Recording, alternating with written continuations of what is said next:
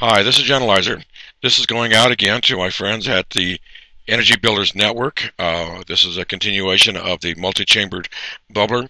Um, I probably will create a series of detailed steps on how to create this bubbler, uh, but for this particular video, I do want to take go over um, the pretty much completed version of this and to show you some of the techniques and some of the things I've done to overcome some difficulties that I've had in getting this thing constructed.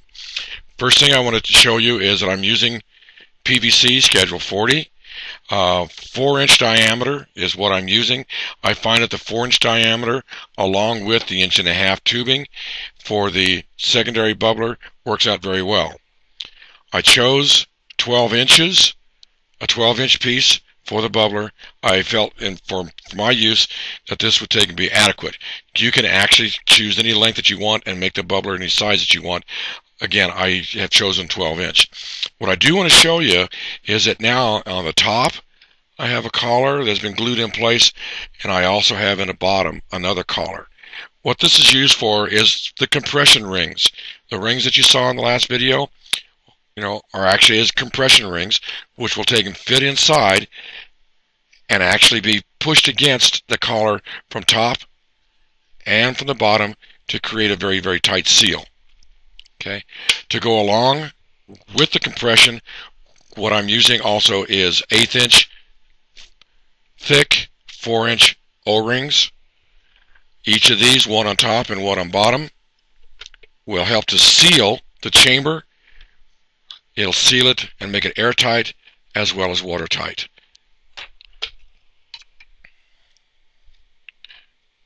The way I constructed those collars is I took a, a drop-off piece of PVC, cut a ring off of it, and actually cut two of them, and then notched the ring.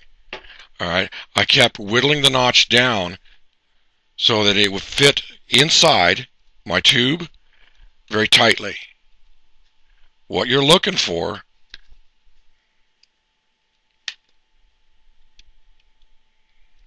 is a very tight joint. See if I can see a very tight joint where they come together. All right, this is what you're looking for. What you also want to do is when you get ready to glue this down, I recommend you use a tri-square. Set it to the depth that you want, in my case half an inch, and then push down on it while it's being glued. Run it around completely, pushing down and making sure that it stays in place to give you a perfect one half inch or whichever depth that you're using all the way around and so it seats. I'm using a half an inch because my plate, my compression plate is made of quarter inch and my O-rings are eighth inch. Okay.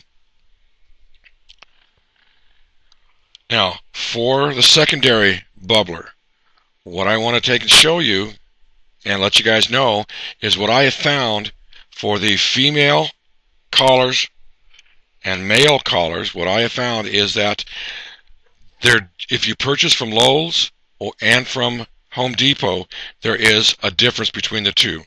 What I require is a very tight seat against the two male and female adapters. The reason for this, and I want it to be just hand tight. I don't want this to be uh, used uh, machine tight, meaning I don't want to have to put a wrench on it. I want to be able to tighten it down as almost clear to the surface, and what you see that it's got very little gap. And the reason that that's desirable is when I put my compression rings on,